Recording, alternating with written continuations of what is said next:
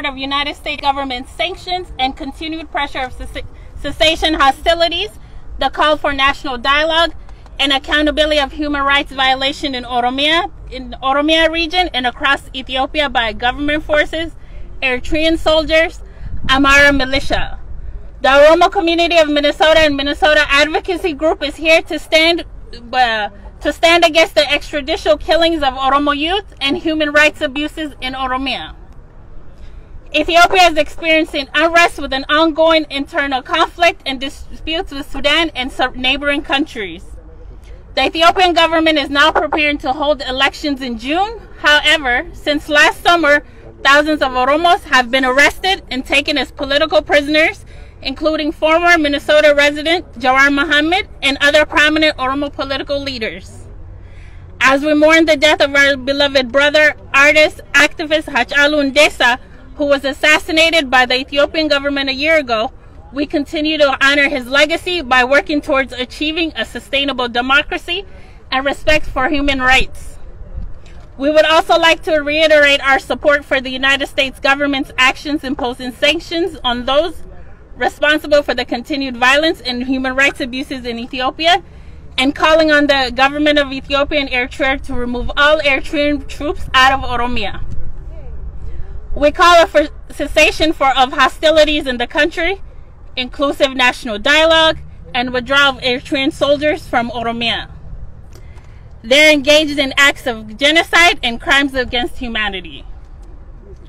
We urge the United States government and international communities to push for an independent investigation into the death of Hachalu Hundessa and human rights abuses being perpetrated against civilians in Oromia region and other and across the country.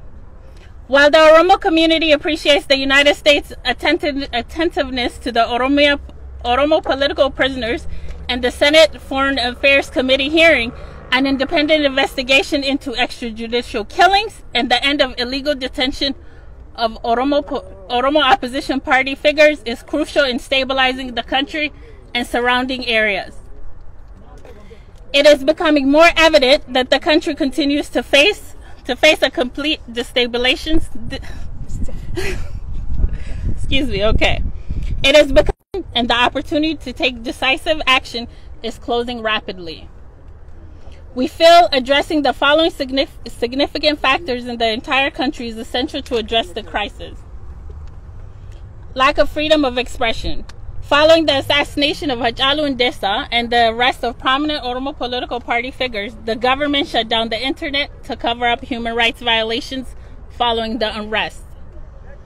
Oromos have been systematically targeted and killed by roaming violent gangs following the incidents mentioned above.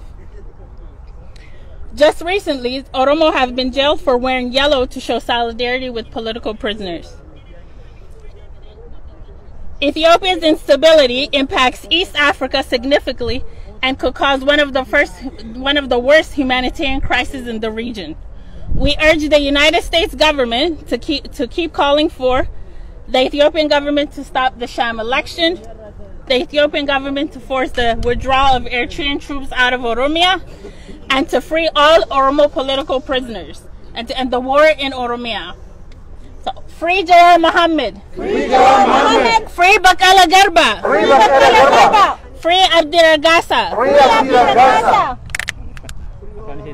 Okay. Free Kenesa Ayana. Free Ayana. Free Gajanet Afa. Free Gajanet Afa. Free Mikael Boran. Free Mikael Boran. Free Melissa de Ripsa. Free Melissa de Ripsa. Free Shamsuddin Taha. Free Shamsuddin Taha. Free Lammi Benya. Free Lammi Benya. Free Dawit Abdata. Free Dawit Abdata. Free Johannes Garba. Free Garba. Free Oromia. Free Oromia. Okay, yung tuta,